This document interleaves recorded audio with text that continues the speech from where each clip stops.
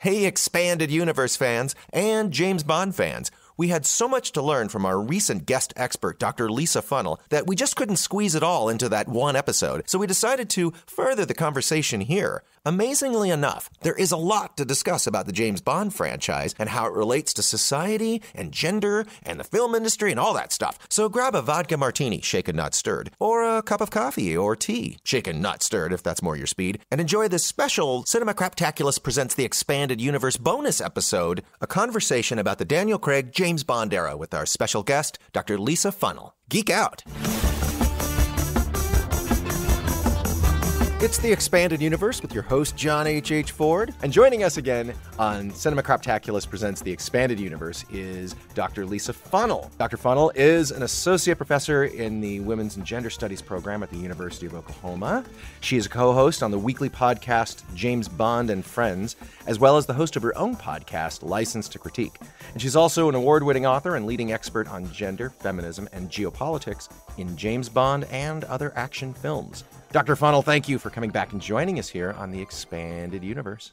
Thank you so much for inviting me back. You know, I feel really bad because while we are doing this, the red carpet premiere for No Time to Die is going on on Facebook. Now, did you catch any of that before we started to talk? I didn't. I am part of a group chat with my co hosts on James Bond and Friends, and they have been sending me pictures of what Daniel Craig is wearing and what other uh, stars are wearing. But I figured I would catch up once it's all done because it's one of those things that gets drawn out on a red carpet, yeah. and I just I just want the highlights. it's, it's, it's spectacular. They pulled out the stops. I won't tell you everything because if you're going to watch it fresh, it's there's it's pretty cool. And uh, I, I've been doing an embargo on a lot of things. You guys are in the spoiler world, so it gets a little tough. But I, I saw the trailer the first one last year or whatever 2020 whenever it was once and then i haven't watched it but in my social media feed i've mm-hmm. probably seen the cookies on that aston martin or doing the donuts in the town square 80 million times and they played a bit of the billie eilish song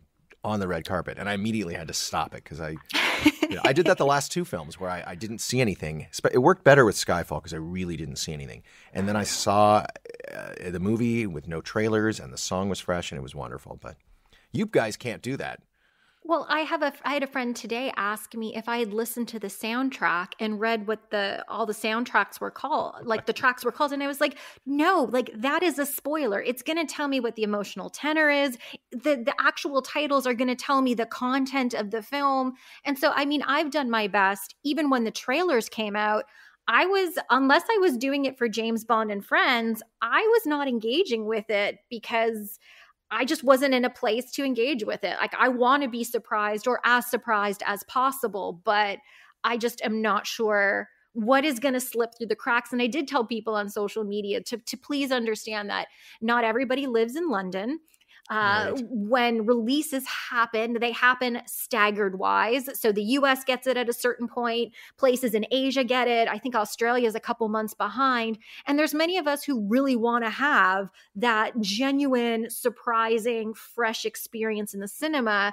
It's just going to be very difficult because people are going to want to talk about this film. Totally uh, good idea to avoid like CD soundtracks. I'll, i learned my lesson in '99 with the Phantom Menace when, like, literally, I'm waiting in line to see the movie, and uh, my girlfriend at the time bought me the CD, and I'm looking through the tracks, and it said Qui Gon's death, and I was like, yep. uh, you know, anytime it's like funeral pyre for, you know, for you know anything like that, like thanks. Why? Why'd I do this? Uh, yep this time of year, the last two years, there should have been a Bond film, and and mm. it's really surreal that it's here. And I have just seen social media and the media in general go crazy. And I think part of it is, you know, there's this desire to go get out to the movies a bit, even though it's still, you know, a little scary eh, for many of us. But I think they're really putting that foot forward. And I know you have been quite the sought after source, so I'm lucky to have you. And there's a couple of topics I wanted to talk about that fall into your purview, particularly.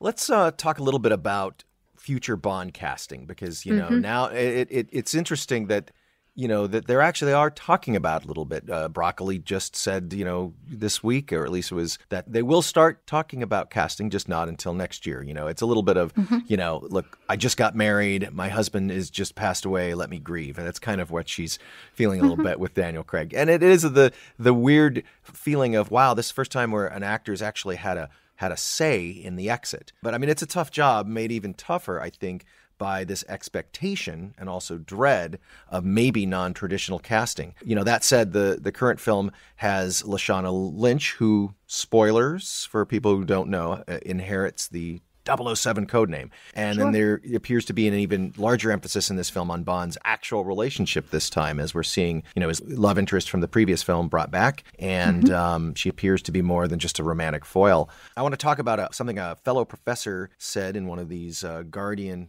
interviews. Uh, her name was Dr. Claire Hines. And she said, What Bond looks like and what he stands for are two separate things. Just because you move beyond whiteness doesn't mean you move beyond those other core problematic aspects of Bond, such as the fact that he stands for imperialism and toxic mm-hmm. masculinity.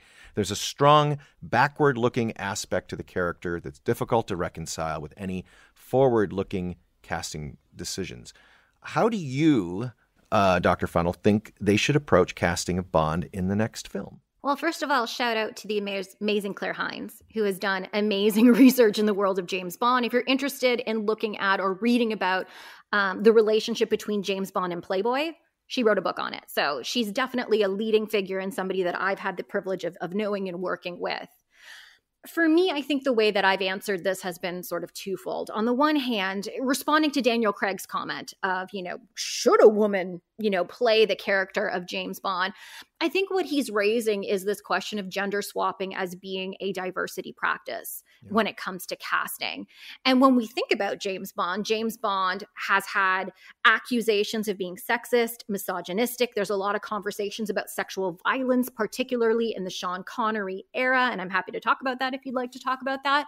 Um, but this is the history, the legacy, and the luggage of James Bond. And so the question is should we put a woman in that particular role? Can you divest the character from that baggage? Will the film be anything but a conversation about the change of gender in James Bond? Will the media focus on anything other than the change in gender in the character of James Bond? And so then the character, in my opinion, can't look forward she could not progress because she's going to be weighted down by the history, the legacy, and the luggage of Bond. It's it's the same sort of line of argument like can you reclaim terminology and divest it from its history? And it's very difficult to do.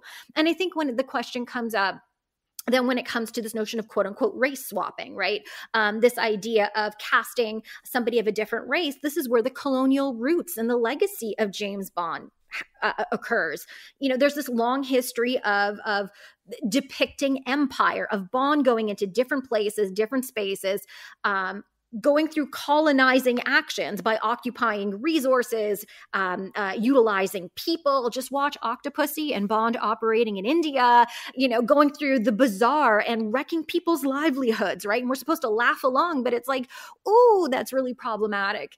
Um, and so there is this long legacy, and there is a history of poor representation. Whether you want to talk about Ian Fleming's novel, Live and Let Die, that I cannot read because of his use of slang for Black characters or you look at some of the representations that that we've had in this franchise the question is should James Bond could James Bond be played by a man of color? And can we decolonize the, these images? Is this something that is actually possible? And then i think there's one more layer on top of that.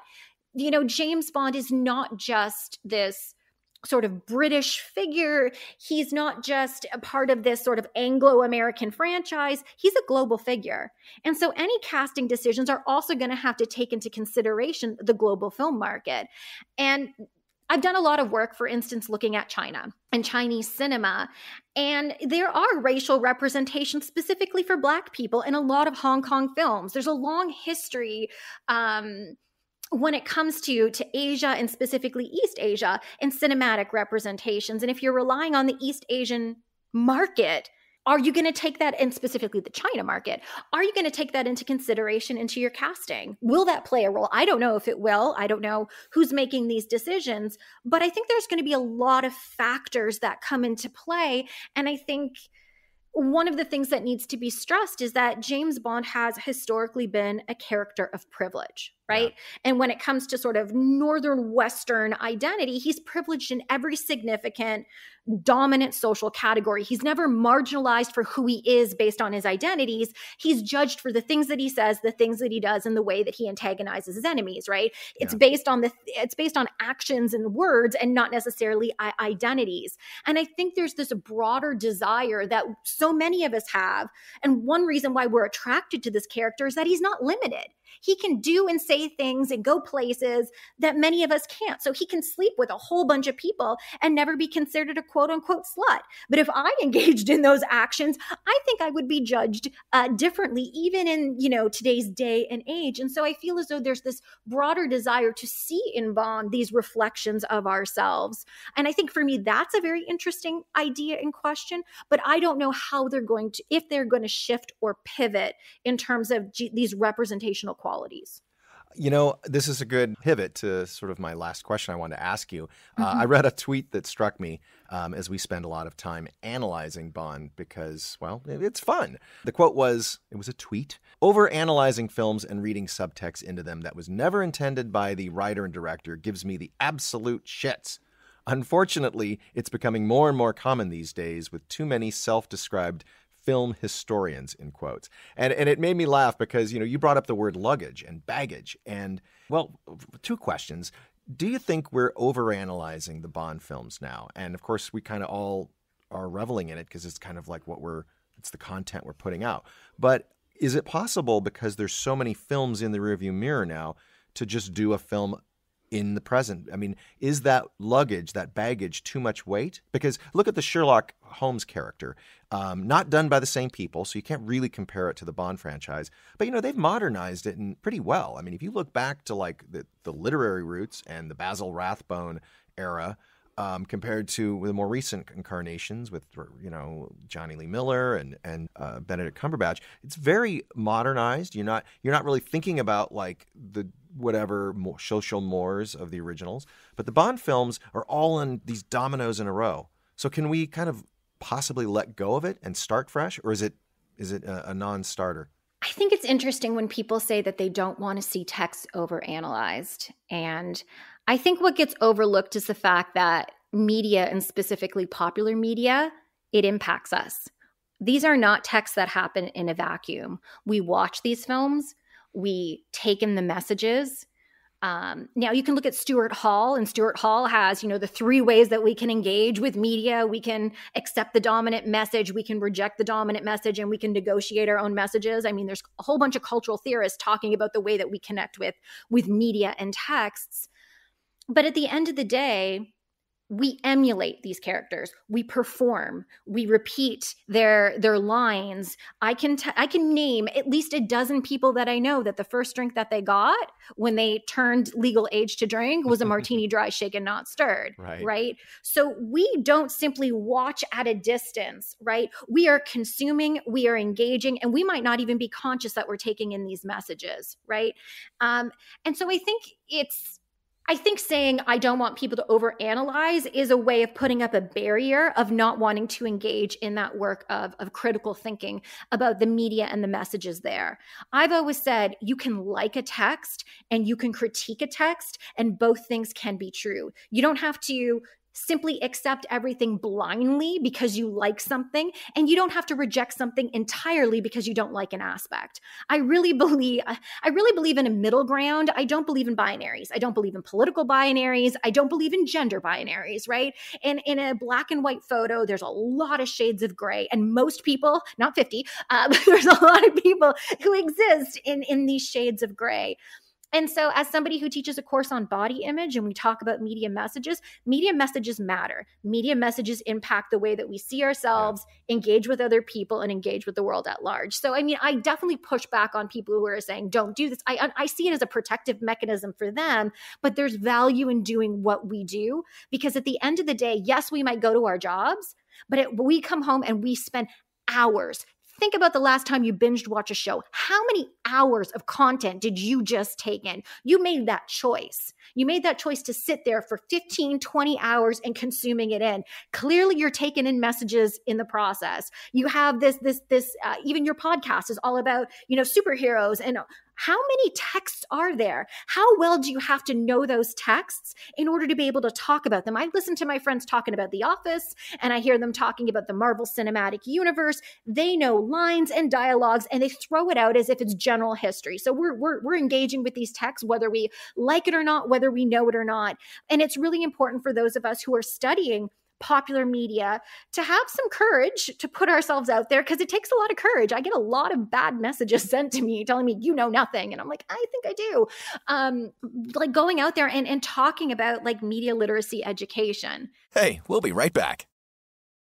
Hey, this is Dave. We recognize that systematic racism exists, and one of the best ways to overcome it is by amplifying the voices that need to be heard. To continue that mission, every month we'll share a podcast or charity to support. This month, we're supporting the Black Fairy Godmother Foundation, whose mission is to restore black and brown families' stability by removing the barriers that keep them in abject poverty and domestic violence situations. You can find more information and donate at blackfairygodmother.org. And now back to the show. This idea of can we move forward? Can we move forward? I Can we forget the rapey bonds? Can we forget the horrible racial stereotypes of you know, or because it, doesn't just apply to the Bond films; it's applied to any right. films. Because I mean, you know, it, it, people people are losing their livelihoods because of projects they did, not just things they said, yeah. but like you were a part of that that icky franchise or you did right. that film and i personally think that we're forgetting the lens in which it was created we right. so want to go back and make everybody in the past think like us behave like us and treat everybody else like we think they should be treated and you weren't in their shoes. You weren't in the shoes of the people mistreated and the ones doing the mistreating to really understand that world. Mm-hmm. It's captured on film or in a song or in a book, and you, to your point, it should be scrutinized. But right. to just constantly judge it through the modern sensibilities um, is is mm-hmm. futile because it's already been done. It's already been put on celluloid and appreciated or failed back in the day. But with Bond is unique because people buy this collection, and I right. do find it interesting to sort of defend yourself a little bit now as a Bond fan because mm-hmm. it's not enough just to say like, well, I'm a fan of you know the finer points of living and fine caviar and fine clothes, which nobody really can afford. But are you having to defend this legacy? And what I love about the podcast that you do with uh, the James Bond and Friends is um, and particularly your perspective, is you come in as a fan. And, mm-hmm. and but you don't shy away from the warts and everything I've read and listened to you, uh, Dr. Funnell. You do what you just said. You balance liking something and taking off the gloves and analyzing it. And I think that's probably maybe a, a good message, maybe for especially younger people who mm-hmm. there's a lot to look back on from my generation and go ick. you know, right? And I think I mean I've had a lot of people say, who who want to listen to my podcast and hear my point of view because they're in that position of like how do I talk about something that I love but acknowledge some of the problems that are there? And and I feel like like that's why I'm here right? To show that this balance can happen because you add with me an extra layer that I'm a woman and this idea that I'm not supposed to like James Bond right? Like there's a lot of judgment in there and then there's a oh, lot sure. of like academic judgment. Like why are you studying James Bond? Like there's a lot of weight on my shoulders and I mean I'm a very uh broad shouldered type of person. Like, I just don't care what people have to say. I'm going to do what I do, but I'm going to do it well. Um, I think that when it comes to this is this is a question of like history and cancel culture for me. When it comes to say sexual violence, look, I will talk about sexual violence in in in the Sean Connery era and I can critique it and I will tell you, look, is it there? Yes. Is it a product of the time? Yes. Was it ever okay? No.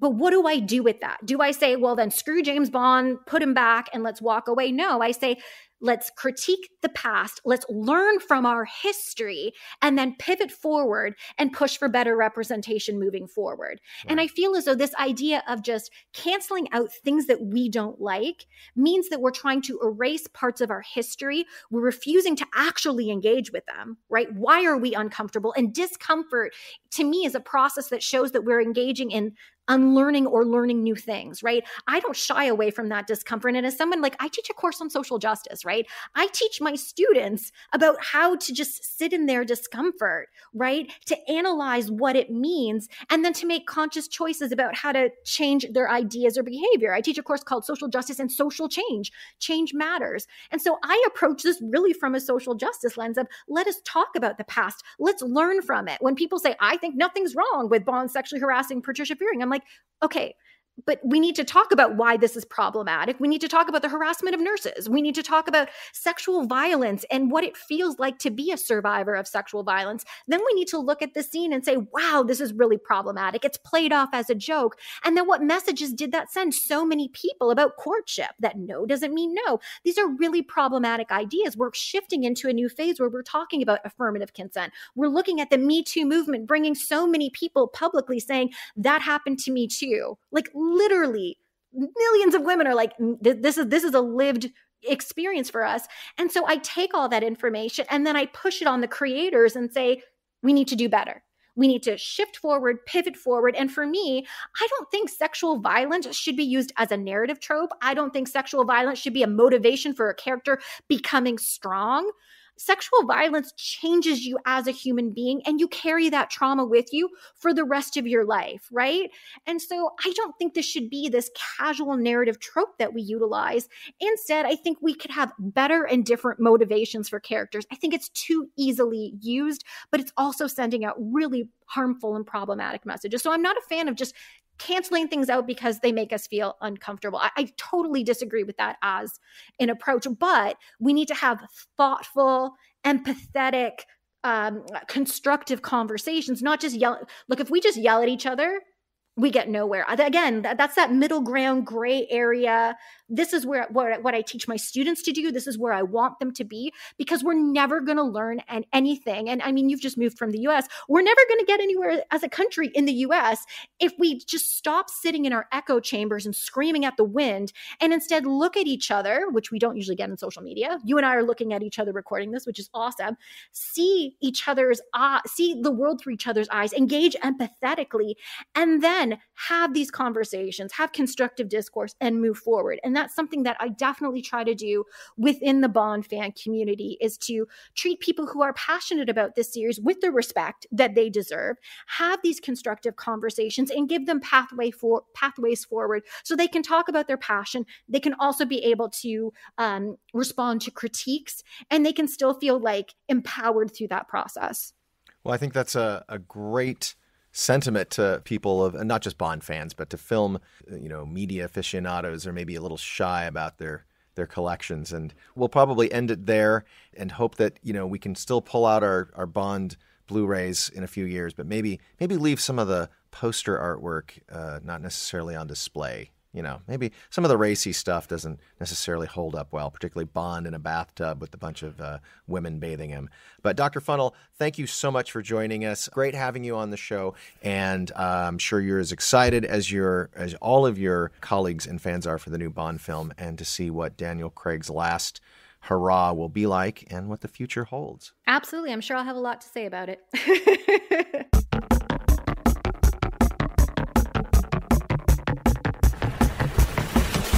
Thank you for geeking out with us on the expanded universe. If you're enjoying all this geeky, nerdy pop culture stuff, make sure you've subscribed to our show, which is part of the Cinema Craptaculus channel. Available on Apple Podcasts, Google Play, Spotify, Amazon Music, iHeartRadio, Spreaker, and more. And while you're there, rate us and write us a review. It helps us get the Craptaculus word out. Once you've subscribed, you get all of our weekly shows, which includes B-Sides with Adam, Dave, and Tara, Terror Tunnel with Stephanie and her horror co-hosts, The Expanded Universe with the Geeks, John H.H., Doc, and S'more, Real Debates with Dave, Adam, JDH, and some surprise guests.